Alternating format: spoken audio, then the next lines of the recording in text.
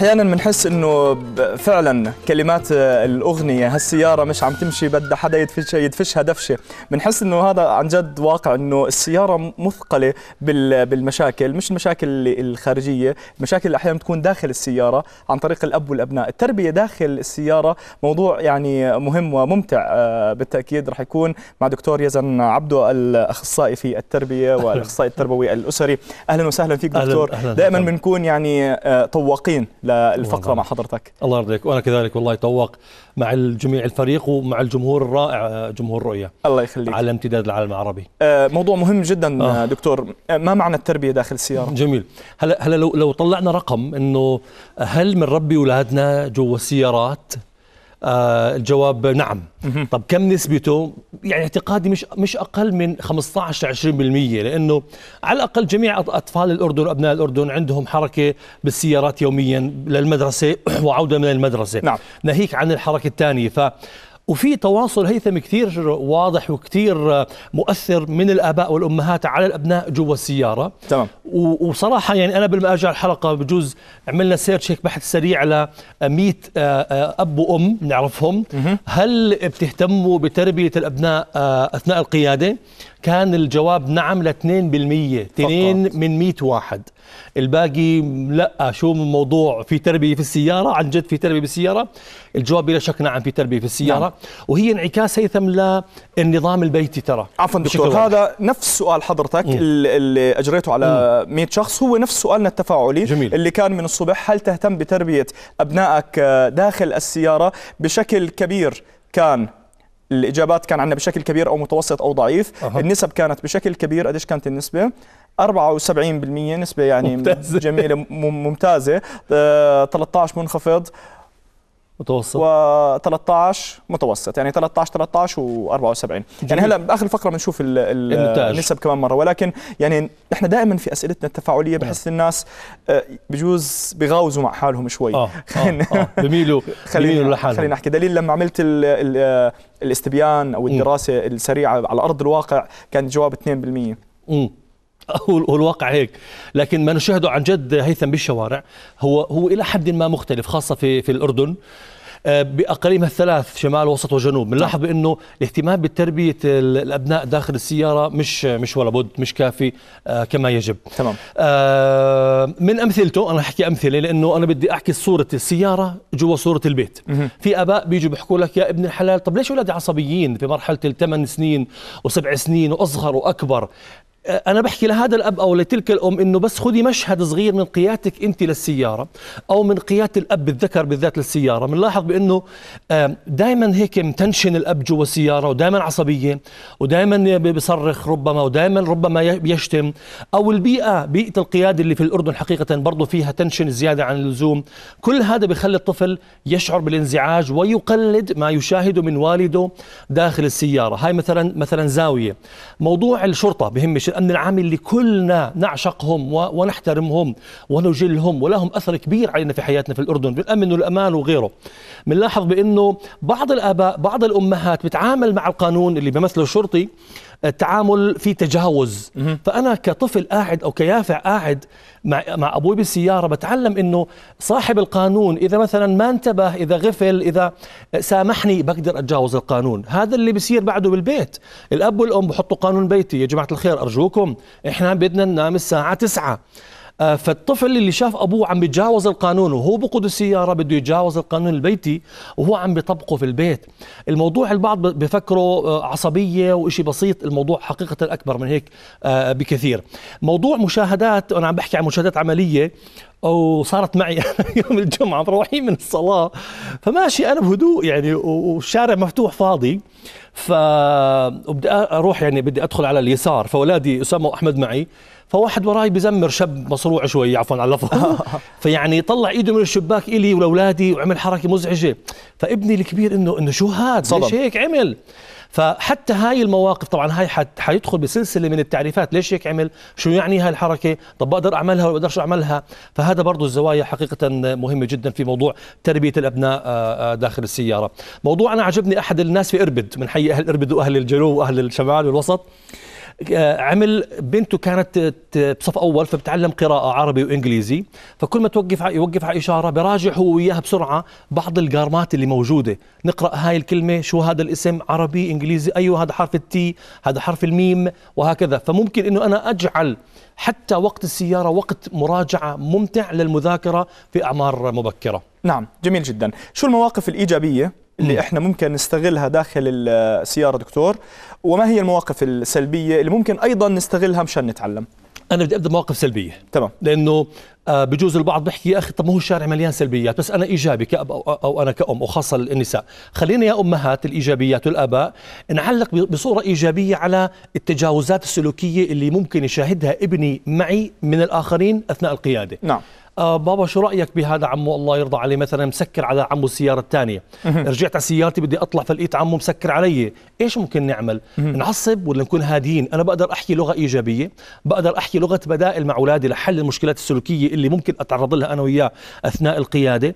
و آه، آه، وبالمقابل بدي حقيقة أنتبه وأقيم حالي كأب وأم أثناء القيادة. من أهم الأشياء اللي إحنا بنطلبها دائما من الآباء والأمهات إنه تكون القيادة آه، ممتعة من خلال الابتسامة. ما تتخيل هيثم قديش هذا مطمئن للأبناء. إحنا بنشاهد أبناء وكنا نحكي بالحلقة إنه الأب بيصرخ اتفرج بالله على الأبناء اللي قاعدين ورا. شو الرعب اللي في نفوسهم. طبعا فيلم رعب بتكون جدا. الأب الرحلة. بيصرخ وذاك السيارة الثانية بيصرخ على أبوهم وبصير الطفل يتخيل إنه بابا بده ينضرب بابا بده يضرب بابا بده ينزل له دم بابا بيصرخ بابا معصب. فحالات الرعب الانفعالي السلبي داخل السيارات أثناء القيادة حقيقة خطيرة خطيرة جدا. نعم. من السلبيات اللي إحنا لسه لسه ما زلنا بنشاهدها بالأردن هيثم وفي الآونة الأخيرة والله ما بعرف ليش عم بتزيد خاصة يعني في آخر الصيف وفي الربيع ولما اللي هي ال- اللي بيطلعوا آه، أبنائهم من السيارات. والله تمام. قبل فتره والدنيا برد إنه بنتين مفتوح فتحة السيارة وبنتين صغار طالعين على طريق المطار. ويعني برد وهواء وشعرهم طاير لا سمح الله اجى في إشي في عينهم لا سمح الله ضرب بريك فجأة اللي بيكون مطلع إيده اللي بيكون مطلع اللي بيكون ماسك ابنه نعم. وهي موجودة وب... وعم بيسوق هو طبعاً، وعم طبعاً. بيسوق كلها هاي مظاهر حقيقة آه، غير مرغوب بها خطيرة جدا في موضوع آه، في موضوع قيادة السيارة أو تربية الأبناء أثناء قيادة السيارة من من الآباء والأمهات. نعم حكينا ب- في بداية الفقرة دكتور عن انعكاس هاي المواقف السلبية على الأطفال.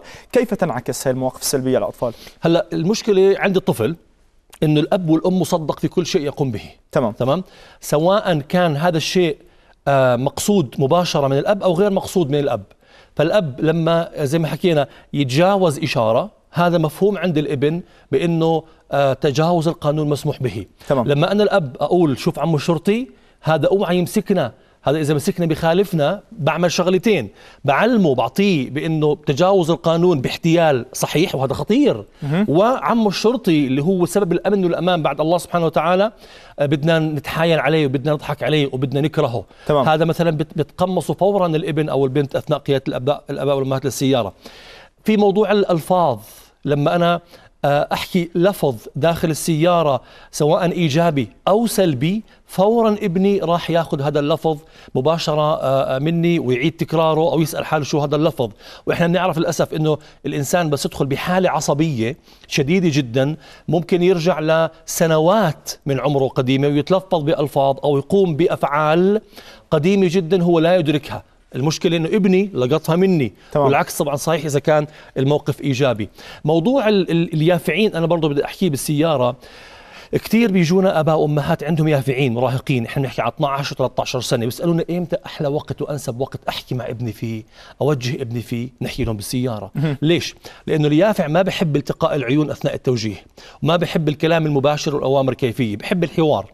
بس الحوار بدون التقاء العيون. فأنا لما اكون أسوق بتفرج وبحكي مع ابني اللي جنبي أو بنتي اللي جنبي آه برضو مكان مناسب للحوار استغله واستثمره في بعض الآباء والأمهات عندهم مشكلة كبيرة وهي ظاهرة منتشرة بالأردن والوطن العربي إنه أنا آه باخذ أولادي على المدرسة.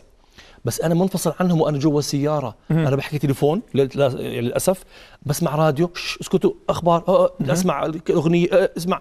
فخلي وقتنا مع أولادنا أثناء السيارة نوعي. خاصة الآباء. إحنا بنحكي إنه الأب لازم على الأقل في اليوم يقعد مع أولاده 60 دقيقة. تمام. تمام؟ ساعة. منو يعني ممكن ربع ساعة ربع ساعة أربع أرباع أو أو نصين. هذا ال minimum على هذا الأقل. ال minimum minimum للأب تمام. المشغول المضغوط المفعوص بالشغل. مع- 60 دقيقة لازم يطلعهم. تمام. مش صعبات بس ال 60 60 دقيقة نوعيات تمام. إحنا لو طلعنا إنه بطلع على جنبه وهو نايم بنام هو نايم. بنام جنبه أو فتح لي على الأخبار أو خلي في تواصل. السيارة منها. يعني أنت بتطلع بالسيارة على الأقل ثلث ساعة إذا مش أكثر تواصل نوعي بينك وبين اولادك سكر لها الراديو سكر لها التليفون سوق وركز بس احكي مع أولادك دردش مع أولادك تمام. حاورهم امزح معهم اسمع منهم. وقت السيارة وقت مهم للأباء والأمهات اللي للأسف منفصلين عن أولادهم في التربية وفي التواصل وفي التعامل. نعم جميل جدا. مواقف إيجابية أثناء القيادة وكيفية استغلالها؟ والله شوف. ما بتحكي ليش مش موجود ما في؟ دكتور مازح لا والله في. لا والله في الحمد لله الحمد لله أكيد في. وفي وفي بوضوح كمان في الأردن. إحنا بنحب الالتزام بالقوانين. تمام. ويا ريت برضه من الأمهات والآباء نوضح لأولادنا ما تمر مرور عابر نوضح لأولادنا إنه هاي الإشارة لونها أحمر احكوا لي لما تصير خضراء نعملها لعبة جوا جوا السيارة. وبصيروا يتنافسوا مين بده يحكي أخضر قبل الثاني إذا كان أكثر من واحد الله يخليهم. ومنعلق إنه دائما الالتزام بالقوانين جميل. هاي القوانين وضعت لأجل سلامتنا لأجل مصلحتنا. فأنا عم بعزز القانون البيتي تمام. بأنهم اولادي اولادي يتبعوه. الهدوء كثير مهم هيثم في موضوع التعامل مع الآخرين عند الخطأ أمام الأبناء. شخص تجاوز عني بالسيارة أو لز علي بالسيارة فأنا ببعد وبتجاوز بعلم ابني شيء اسمه الحكمة شيء اسمه الهدوء شيء اسمه الروية شيء اسمه التسامح شيء اسمه الإيثار وبعلق تعليق بسيط. أنا آثرته عشان شفت عمه لا سمح الله مستعجل فجبده معاه شيء فأنا وسعت له الطريق. تمام. عمه عصبي الله يهديه فأنا بدي أكون هادي عشان هاي كلها رسائل إيجابية يجب هيثم نهتم فيها بصورة كبيرة جدا أثناء قيادتنا آه، للسيارة. وإحنا عندنا الجبال زي ما بيحكوها علمونا وإحنا أطفال تتكون من الحصى. والتربية جبل التربية بتكون من سلوكيات بسيطة جدا. ننتبه لها حقيقة سنصل بأبنائنا وبأنفسنا ل- لابر الأمان في في في التربية إن شاء الله دائما. نعم نعم جميل جدا. أحيانا آم، آه، دكتور بيكون في وقت طويل رحلة طويلة أو بعض العائلات ما- خصوصا آه، في نهاية الأسبوع بنتقلوا من مدينة لمدينه بيكون في ساعتين ثلاث ساعات أربع ساعات آه، في السيارة. كيف نستغل هذا الوقت؟ وهل هو فعلا ممكن يكون وقت نوعي إنه نستغله أو لا؟ جميل جميل. سؤال رائع. وهذا موجود الحمد لله في الأردن.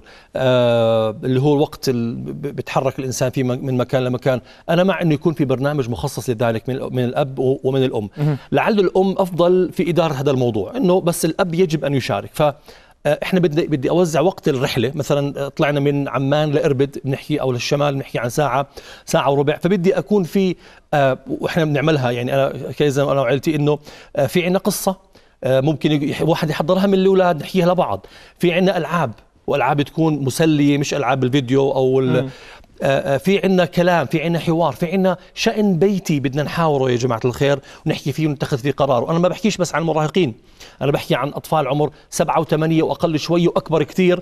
كله بنفع إني أحاوره أثناء قيادتي للسيارة و- وأحل شؤون بيتية وأخذ رأيهم وأحاورهم أثناء قيادة السيارة. هيثم أنا مش معك كثير إنه السيارات اللي فيها فيديو أو دي في دي على الركايات أو نحضر إنه أفلام آه. إنه والله زين عقبة يلا بدنا أربع ساعات نحضر لنا أربع أفلام. ولا فيلمين. تمام. مش معها ابدا لأنه وقت النوعي لل- للحوار جوا السيارة للعب جوا السيارة آه، آه، لقصة جوا السيارة لنفتح موضوع نحكي فيه جوا السيارة. آه، أهم من إنه أنا أحط أولادي ساعات على الفيديو في السيارة ويشوفوا الفيديو أو يشوفوا الموفي اللي في السيارة. نعم نعم آه، جميل جدا. يعني دكتور أنت عم. تحكي أكيد. عم تحكي عن الهدوء وعم تحكي عن العصبية بالتأكيد. يعني هو انعكاس للبيت أو للعمل أو لأي بيئة من البيئات اللي بيعاني منها الأب أو الأم خلال حياته. فهي السيارة رح تكون آه، ظل أو رح تكون انعكاس لهاي ال- العصبية أو لهذا الهدوء. الهدوء. في معنا صورتين تعبيريات عن هذا نعم، عن هذا نعم. الموضوع. مع عبد الله هدول الصورتين اللي عم نشوفهم. نعم. هي بصراحة إحنا عملنا سيرش طويل فما لقيناش غير صورة إيجابية واحدة. وهي ملخص لموضوع الحلقة بأنه عن جد في تربية جوا السيارة الابتسامة التفاعل الهدوء الإيجابية. التزام بالقوانين يعني التزام بقوانين البيت التزام بقي- بقيادة السيارة بهدوء يعني هدوء جوا البيت وغير ذلك من المعاني اللي حقيقة مهم إنه ننتبه لها جوا السيارة. الموضوع حبينا بجوز مع هيثم نلفت انتباه ال- ال- الرائعين جمهور رؤيا لأنه آه، قيموا حالكم أهم شيء جوا السيارة هدوء أو عصبية التزام بالقوانين أو التزام بالقوانين حتى نوصل لبر الأمان في تربية أولادنا أثناء قيادة السيارة. إن شاء الله. شكرا جزيلا دكتور. قبل النهاية خلينا ناخذ نسب سؤالنا التفاعلي بعد نهاية الفقرة المختصة في في الموضوع. إلى أي مدى تهتم بتربية أبنائك داخل السيارة أو أثناء القيادة بشكل كبير 76% جميل. يا سلام 14 متوسط و10% فقط آه، منخفض. يعني شو رأيك آه، دكتور رأيي إنه يا ريت نوصل لهيك إن شاء الله. وأنا متأكد بعد هاي الفقرة آه، راح يكون في لها أثر وصدى كبير آه، عند الناس. نقيم حالنا أهم شيء هيثم ونحاول كأباء وأمهات نرتقي. زي ما حكيت حضرتك بمحورين محور الهدوء مقابل العصبيه محور الالتزام بالقوانين مقابل آه، خرق القوانين أو التحايل على القوانين. يا سلام. ساعتها راح عن جد نلاقي انعكاس إيجابي على سلوك الأبناء وتربيتهم جوا البيت إن شاء الله. جميل جميل جدا. شكرا شكرا, شكراً. دكتور. الله يعطيك ألف عافية. الله آه،. موضوع مهم جدا وبجوز يعني كثير منا ما بنتبه لهذا الموضوع ولكن بنتمنى بعد هاي الفقرة معظمنا أو معظم الناس اللي تابعونا رح يصيروا يهتموا في هذا. الموضوع